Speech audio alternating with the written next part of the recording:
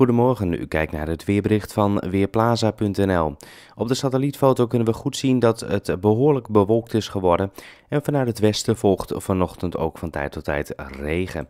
In de loop van de dag gaan we wel zien dat de regen minder intensief wordt en later vanmiddag wordt het op veel plaatsen weer droog. In het oosten zal het waarschijnlijk nog tot de avond duren voordat ook daar de neerslag is weggetrokken. Het wordt vandaag 6 tot 10 graden en er waait een matige, aan zee soms vrij krachtige westelijke wind. Zoals gezegd, vanavond wordt het dus op de meeste plaatsen droog. Wel houdt bewolking de overhand. Het koelt af naar een graad of 6 of 5.